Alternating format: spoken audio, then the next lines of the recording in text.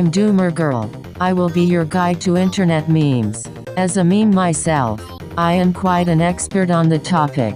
Through a multi-sited ethnography of seven hackathons I investigate how the jokes, language, and stereotypes of memes are a central feature of socializing a technology culture. There are two key terms to define here, memes and hackathons. First, memes are humorous images, phrases, and characters that are shared on the internet. One of the most wonderful things about the internet is people's ability to share information instantly. Whilst memes were first defined as the smallest unit of culture by evolutionary biologist Richard Dawkins, he rejected internet memes as ridiculous not worthy of serious attention. There are many academic definitions of memes. I define memes as cultural artifacts created by humans which gives information about the culture of its creator and users. The second important concept is hackathons. Hackathons are typically 24-hour coding marathons in which teams of programmers can celebrate and innovate in a singular technical project. These can be one or multiple day events where teams compete for lucrative prizes. As they have become more commonplace, Leagues and organizational structures have emerged around them.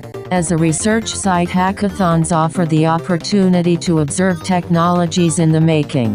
The practical activities where people work together to make technical tools. They can occur offline, in hybrid formats, and can even be adapted to the restrictions of the COVID-19 pandemic by going purely online. Seen as a method to develop one's professional and technical skills, hackathons often prioritize structures of mentoring and networking, promising attendees the opportunity to engage with computing education with a low cost of failure. Hackathons have filled a gap left by universities by permitting students to see the merits of technical skills that go beyond assignments to achieve creative impact and that led to aspirational careers. Hackathons have been described as antidotes for imposter syndrome in computing. Hackathon attendees can build a project portfolio network hone technical skills practice collaborative work, improve public speaking and self-promotion, win material, or cash rewards, and feature their achievements in job applications. If hackathons are not inclusive, these benefits are not equally distributed and serve to perpetuate existing inequalities. Despite hopes that formalization and mainstreaming would enhance the transformative potential of hackathons, hackathons have retained the masculine dominance of wider technology culture. Created within the cultural and physical environment of hackathons memes offer the opportunity to see how the stereotypes are shared, reproduced, and referenced in real time. By coding at the hackathon talking to attendees and monitoring online chats during the event I ask how memes are a cultural consensus. The paper addresses three key questions. How do memes define the boundaries of hackathons? How is technological culture reflected in memes shared at hackathons? How do memes and language communicate gender at hackathons? I show how the material experiences of hackathons are depicted in memes. How the people at the events use humor, choosing to make memes for the opportunity to win a drone rather than participate in the actual competition of the hackathons. Next, I examine how memes are embodied at hackathons and how platforms and websites of technological culture are talked about. Finally, I consider how identity is constructed in memes focusing on the types of acceptable masculinity reflected in the meme's characters, such as the nice guy. At one hackathon attendees were given a hackathon branded fedora shown. The fedora has become a symbol and perfect mimetic image of socially awkward, usually white, young men known as nice guys.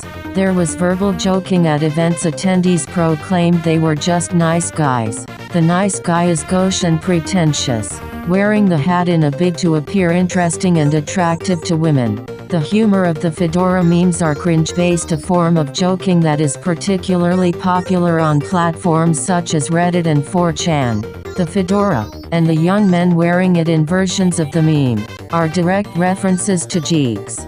Geeks are seen to be bad at flirting, talking to women, and sex more generally. The association of the hat with this incompetence is encapsulated in the mimetic phrase, Tipstoff's fedora, milady, intentionally addressed to women. The phrase refers to the misogynistic practice of men assuming that women need to be helped or defended, with the expectation of romantic or sexual reward in return.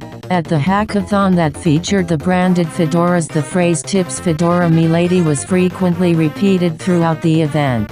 This study shows how the memes, jokes, and language of technology culture at hackathons resist organized efforts towards gendered inclusion memes can function as communally agreed stereotypes, representing how a collective understand gender. The propagation of gender stereotypes at the axillary events of computing is a topic that requires further investigation to understand how the underrepresentation of women is maintained across all sites of technology culture. The paper concludes with implications for practice for organizers and researchers of hackathons.